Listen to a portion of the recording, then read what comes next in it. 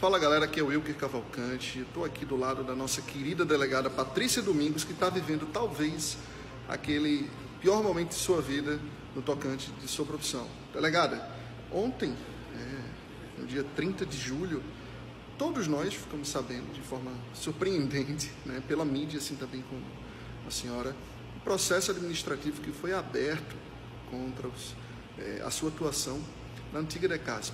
Fala um pouquinho para a gente. Como foi que você recebeu essa notícia e do que se trata? É, nos causou uma surpresa muito grande que a gente tenha tomado conhecimento de um processo administrativo pela imprensa, né? Antes do processo administrativo houve uma sindicância, que é uma apuração prévia.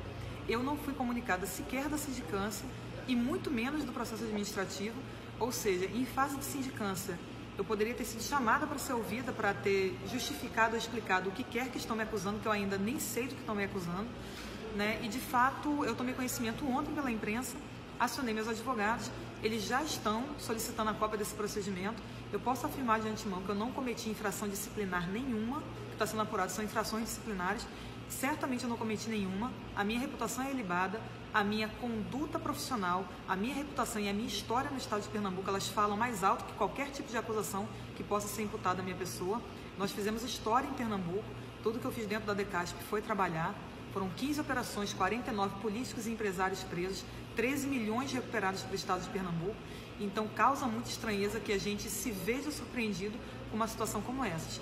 É, eu não posso entrar em detalhes sobre o PAD, o processo administrativo, porque ele é sigiloso, de acordo com a lei estadual 6.123, e já solicitei ao corpo jurídico da ADEP que apure quem deu causa ao vazamento dessas informações que deveriam ser sigilosas do processo para a imprensa para ser apurado e para que o responsável possa também ser responsabilizado por ter feito isso, porque isso expõe o servidor a uma situação vexatória de ter que estar nesse momento tendo a sua imagem exposta de forma indevida.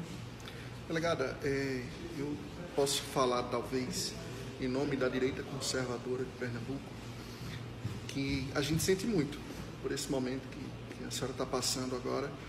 A gente acompanha o seu trabalho há um tempo já e assim como é que posso falar, pessoas? É, é revoltante. É revoltante porque uma profissional, como você mesmo já falou, de reputação ilibada, um profissional extremamente competente naquilo que se dispõe a fazer na sua atuação, está né? Tá passando por isso. Né?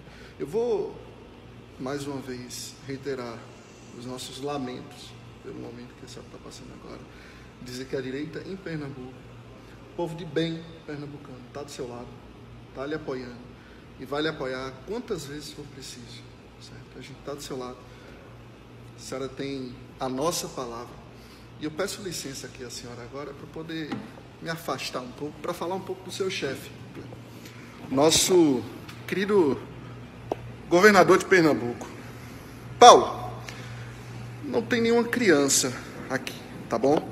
A gente sabe que todo esse processo que tem acontecido com a delegada Patrícia Domingos, ele é proveniente da sua gestão.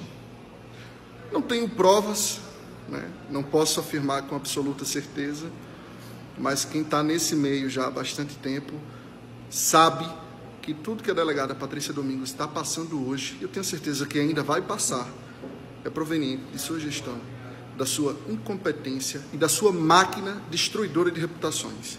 Mas dessa vez você não vai conseguir. Liberta Pernambuco está aqui, tá? Pernambucanos de bem, brasileiros de bem, lutamos, estamos lutando e continuaremos a lutar contra a sua péssima gestão. Governador, nos aguarde. Sua monarquia vai ruir.